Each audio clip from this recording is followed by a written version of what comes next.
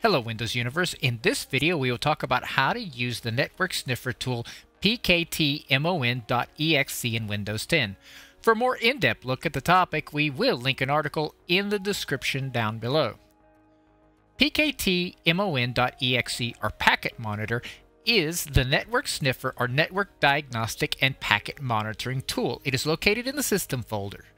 You can invoke it from the command prompt or PowerShell. So let's open a command prompt as an administrator. And if you type in pktmon.exe,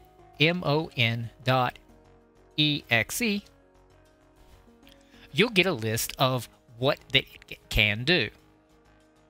Commands for filter, we can manage packet filters, list, list packet processing components, start packet capture and event collections, stop, stop data, status, you can query the current status, unload, you can unload the driver, the counter, display current packet counters, reset, reset packet counters to zero. ETL to text, convert log files to text format. ETL to PCAP, convert log file to P, PCAPNG format. Hex2 PKT is decode packet in hexadecimal format. Help is to show help text for specific command. For example, PKT PKT mon start help. And here's a simple example of how to use it. Suppose you want to monitor a port number on the computer which might be having some issues. Now the primary option which allows you to monitor the traffic is a filter. Using this option you can create a filter to control which packets are reported based on the Ethernet frame, the IP header, the TCP header, and the encapsulation. If you run this program, you'll get full details on what you can do with the filter. So P K T M O N filter add help and this will give you an idea of the syntax that you need to do this. So say like we want to add a filter at port 1088. We would enter in P K T M O N filter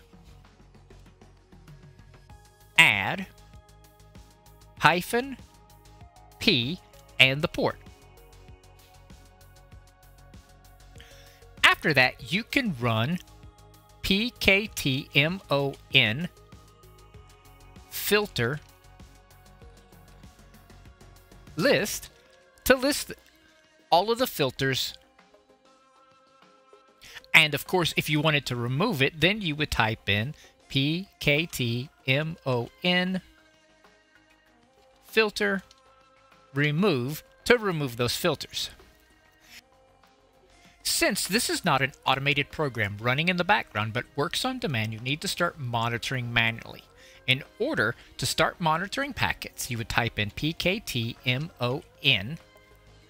start space hyphen hyphen etw and hit enter. It'll start monitoring and create a log file. You will have to manually stop using the stock argument or it will end when the computer shuts down. So, pkt mon stop hyphen hyphen etw and hit enter. The log file is then saved into pktmon .etl, which can be converted into human readable format using this command.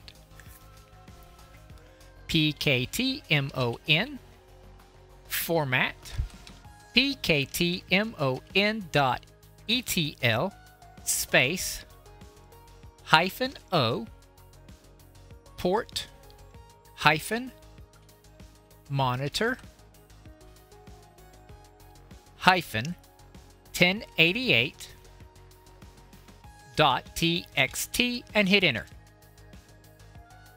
You can then go into your System32 file folder and look for that particular item in a text document and you can read it. If you wanted to read it in a much more readable format, you can download something called the Microsoft Network Monitor that can directly read an ETL file. For more helpful articles to help you maximize your Windows experience, go to our website, thewindowsclub.com. Do not forget to give this video a thumbs up and subscribe to our channel where we are always adding new content aimed at making you the master of your digital house. Thanks for watching and have a great day.